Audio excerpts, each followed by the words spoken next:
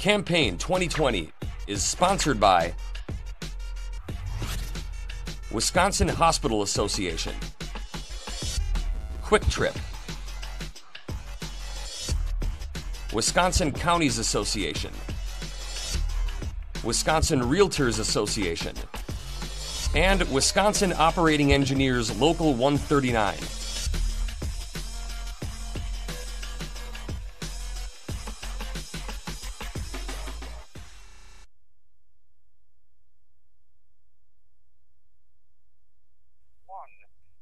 State Representative Amy Loudenbeck of Clinton is a Republican seeking reelection in the 31st Assembly District. Amy, welcome back to Wisconsin Eye. Thanks for having me. Okay, if you're reelected, your top priority, your top issue next session, please. Safe and healthy communities, balancing the budget, and making sure that opportunities are there for Wisconsin workers to reposition themselves in this recovering economy. And uh, let's talk about balancing the budget. If we're, I'm making up a number, if the pandemic causes us to be a billion short in tax collections in the current fiscal year. What do you think the options are? I think the options are to look at what the governor puts out as far as his directive to maintain spending at current levels or look for ways to reduce that. And we know we do have a rainy day fund if we need to position ourselves for a two year um, a two year drop off. I think that that's reasonable to look look at that, but I definitely think we need to look at efficiencies at all levels of government so that we don't have to cut the aid to schools and the programs that we support. But if we can make ourselves more efficient within the bureaucracy, that would be a great place to start. And no, I'm not in favor of raising taxes. Okay. No, no revenue uppers, right? Yes. Okay. Uh, a pandemic question. The governor has a decision on September 28th to uh, extend the statewide mask edict or let it lapse. What's your recommendation, the governor? My recommendation to the governor is that yep. he it, he um, he allows the health emergent public health emergency to lapse. Okay, no longer needed beyond that. Right. Okay. I don't think we've seen the results. We don't know what success looks like. We've given him an opportunity to to put his ideas out there, and I don't think that there's sufficient buy-in right now that that what what we're doing now is is effective. Okay. Um, you remember joint finance. You you've done dealt with the health services budget, the Medicaid budget. Question about hospitals, which are playing a key role in treating COVID nineteen patients. Do you think in the next budget, if you're reelected, they, they need an even greater priority than they may have in the current budget? Well, they have a great priority in our current budget, and I supported additional DISH funding. You know what that is, Steve, that disproportionate share funding. And I have facilities in communities that I represent that benefit from that. I feel like uh, facilities that serve particularly Medicaid populations need to make up for the money that they're that they're losing every time they provide care and hopefully get, getting that disproportionate share payment um, maintaining it where it is is going to be obviously um, a challenge but a priority in the in the new uh, in the new budget. But i also think it's fair to say we should look at other kinds of healthcare providers including our emergency medical services providers because they're in the same position too. But i do think that that keeping healthcare robust and recognizing that they're they're in a tough spot is is definitely an important consideration Senator Kapenga's bill, he just he just dropped it. He said uh, introduced it. He's uh, his bill. If if your business or organization follows COVID nineteen protocols to protect customers, patients, or employers, you could not be sued for COVID. Do we need that law? So let me first say that I don't think we need to, um, that we should be protecting bad actors, but I do think that the spirit of the legislation being proposed is to protect not just businesses, but schools and county fairs and, and other nonprofits and homeowners from frivolous lawsuits. And so for that reason, I would be supportive of the bill after taking a serious look at it and making sure that that, that, that my understanding of the spirit of the bill is exactly what the language says neighboring Illinois just legalized recreational marijuana. Um, has that changed your position? What's your position on both medical and recreational? I have not been in favor of recreational marijuana. However, just this past session, I did sign on to Representative Felzkowski's uh, medical marijuana bill because I do believe that's something that we need to have a have a debate on. And I think she, in good faith, put together a bill that doesn't that that's very limited. It's limited to a patch. It's limited to um, people with medical conditions and it's also um, not a tax not a revenue generator for the state. It's treated like like like other prescription drugs and not taxed. I don't think we need to look at that as this panacea of, of, of new revenue like other states have including illinois to the uh, to the south of where i am right now. And um, i'm hoping that we can have that discussion. I've supported the cbd oil bill in the past and um, you know from a policy standpoint it's not necessarily about you know about what i think all the time but um but i do know people that are that are really you know dealing with the terminal illness or having negative reactions to pharmaceuticals. There th- those people ha- should have the opportunity to come make the case to the legislature and at least get that bill hearing.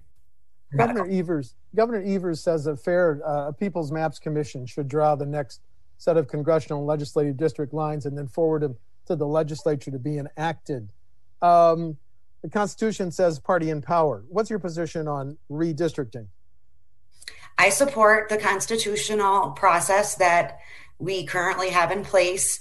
I would um, I would remark that really nonpartisan is it is a nice ideal, but in reality, even the people that Governor Evers chose to be on his not a partisan nonpartisan commission, I think three or four of them have donated to Republican and Democrat candidates in the past. So it's it's really difficult to to say nonpartisan and actually find people that can take off their bias.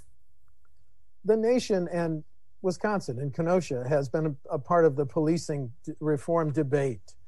Uh, Senator Wanggaard has eight bills. The governor has nine bills. The speaker is going to form a task force. The Professional Police Association has its own proposals. What, if any, policing reforms do you think are, are needed? I'm excited to see the task force starting to come together.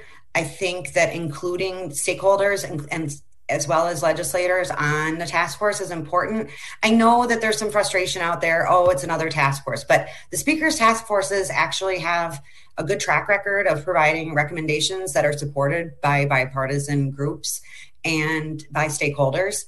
And as far as what measures I would support, I have actually, I've actually, I did do a conference call. The governor requested to speak with me within the last few months, and we talked a little bit about the the nine bill package. I gave him some ideas that I have that were not in those packages. One of them was an affirmative decertification process, not just to take to take law enforcement officers that don't meet the standards and training off of the off of the certification to actually have an active and robust mechanism for for review and decertification similar um, a little bit more robust than what uh, the representative Ott bill was a few t- terms ago that i voted for. I think that's definitely key. Um, and i think looking at mandatory reporting um, amongst the ranks of law enforcement is something that was brought up to me by um, by a black pastor and social worker in my community. I passed that idea along. I think that there's more than just those nine bills that we should look at, and I think that those nine bills, a lot of um, a lot of the discussion is really going to go back to local control. So usually people like local control, and a lot of local departments do things well and do things right um, and they don't want to be told by the state what to do. But if if the desire is to spell out some things that are already common practice in law, so that we can guarantee uniformity, I'm okay with that as well. I just think we need to look look at you know what's the problem we're trying to solve, and look at the policies and not just pass something to make people feel better and think that we've solved the problem when it's it's really quite um, quite a larger discussion than just gaveling in and voting yes. That's that's not the process that I think is the best. Is there any one policing reform change you you you are willing to endorse right now? I would support the, the idea that I have about the affirmative decertification. Okay. I would. Support. Okay, mm-hmm. thank you. Um, going back to your membership of Joint Finance, the um, property taxes are high in Wisconsin, which is why local governments have been dealing with caps and levy limits for more than 20 years. Um, should those caps and levy limits stay in place to control property taxes? I think we've done a really good job of holding the line on property taxes and it's made a difference. When I go out and I talk to, you know, whether it's senior citizens or first-time home buyers, I mean people people know how much their their property taxes are and and and and it's a big chunk of chunk of money, um, whether you're paying it monthly or whether you're paying it at the end of the year. To answer your question on the limits, I do I want to recognize what you're saying. We are a high property tax state. I would rather have us take a look at. Um, well, actually, I know what the next question you're going to ask me is, so I'm sort of anticipating that you're going to talk about other tools for local government. So right yeah, now, options. see yeah, the options. Sure. see the caps. Um, see the caps remain outside of a referendum, which I do support that opportunity for community ideas to be voted on locally. Um, but as far as tools for local government, so that they don't have to rely so much on property taxes, I would be looking, I would be willing to look at some sort of a rebalancing. I've got some considerable inequities in shared revenue distribution for the communities that I represent. That formula is old. That formula picks winners and losers, and perhaps as a trade off of some sort of rebalancing so that. Um, right now they rely a lot on state shared state shared revenue for their for their operating as well and if we're going to continue to do that, we need to have a formula or some sort of a, a, look back at that formula. And if there's a willingness to to rely less on state funding and more on like local funding, if we could again kind of recalibrate that formula and and in exchange for some tools, I'd be open to that. Uh, Representative Goyke's bill that would let, uh, after passage of a referendum, Milwaukee levy a half cent sales tax. You have, do you have a position on that bill? I think that if, if, that bill were to go through, I think we need to have some certainty on what is going to happen with their unfunded pension liability so that we solve that problem at the same time. And again, Milwaukee gets a significant amount of state shared revenue. Are they going to be willing to to say anything over and above this amount of dollars, we're going to let our shared revenue start going down so that we can start um, start not just fighting over that that one money every year. So um, if they were if they were willing to maybe taper down their shared revenue distribution, that might be something worth considering.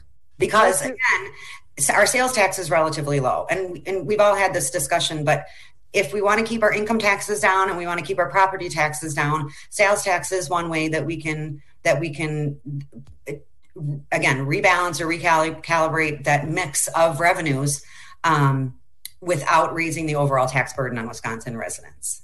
Governor Evers, as you know, recommended a gas tax increase last year are, uh, to stabilize how we pay for highways and bridges. Could you support a gas tax in the next budget, a gas tax in- increase in upper?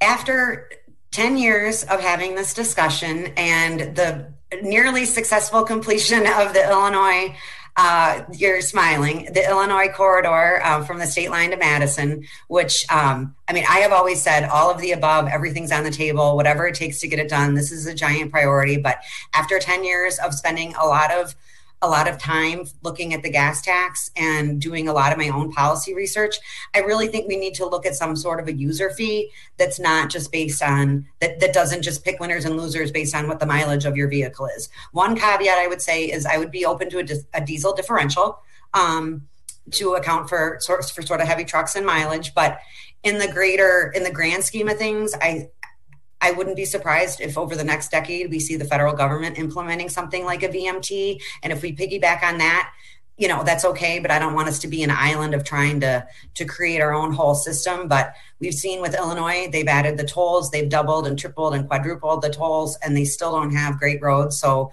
let's let's continue with some of the reforms that we've had. I supported the last budget which definitely added some revenue.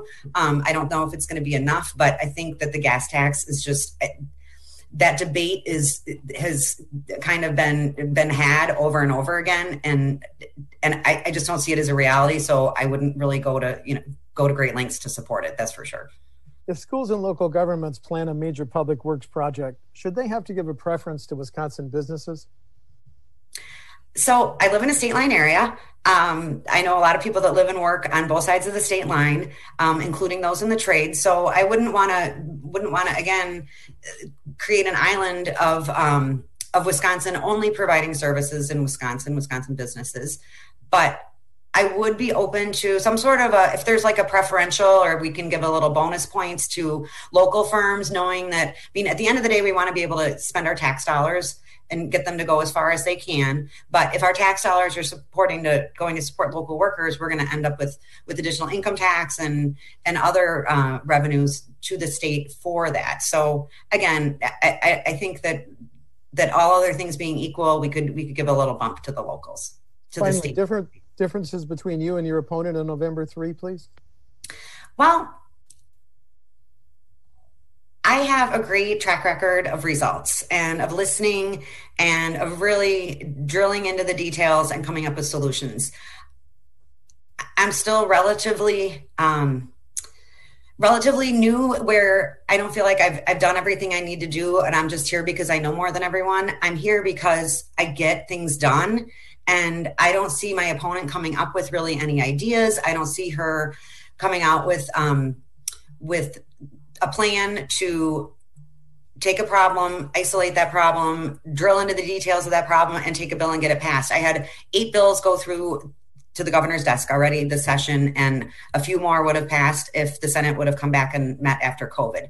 So, for the people that I represent, I think that's a great track record, and there's always unfinished business. And so, that for that reason, I'd like to return to Madison and continue the work that I'm doing. State Representative Amy Loudenbeck of Clinton is a Republican seeking re-election in the 31st Assembly District. The election is November 3. Amy, thank you for talking to Wisconsin Eye. Thanks, Steve. Have a great day. Stay safe. Stay thank safe. you. Yep. Bye-bye. Campaign 2020 is sponsored by Wisconsin Hospital Association, Kwik Trip, Wisconsin Counties Association, Wisconsin Realtors Association, and Wisconsin Operating Engineers Local 139.